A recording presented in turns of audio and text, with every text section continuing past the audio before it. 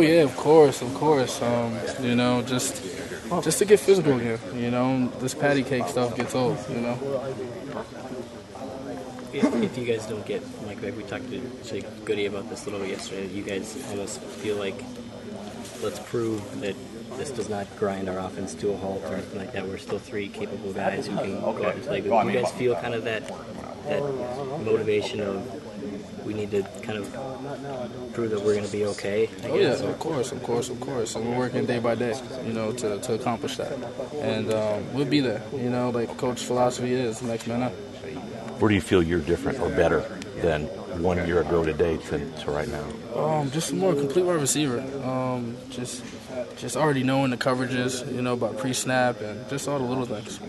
How about as a person? You feel like you're you're better, Oh you're yeah, I smarter feel person bad. now. Feel so a lot smarter, healthy for the first time, you know, in a while. And, and man, as of right now, I'm having a lot of fun, you know, and uh, going through some pains, obviously, during the process. Got to get back in shape, so and um, that's pretty normal. So we're just excited for this next season.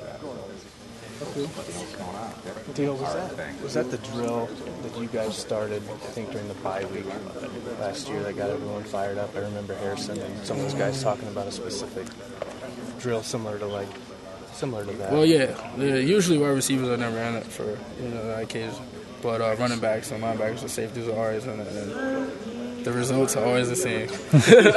Everyone gets excited, you know, little fights, you know, trash talking. Yeah. things happen. It's college. Does that take you back though to that that time last season when, Um, when kind of you Not at turned all. a corner? Not at all. Um, I mean, it takes me back, you know, to the end of the Miami game. You know, when we all rallied up and everyone was excited, and we said we got to do better next year. You know, and and, and um, we all agreed as a team, and and uh, we're going to work towards our goal.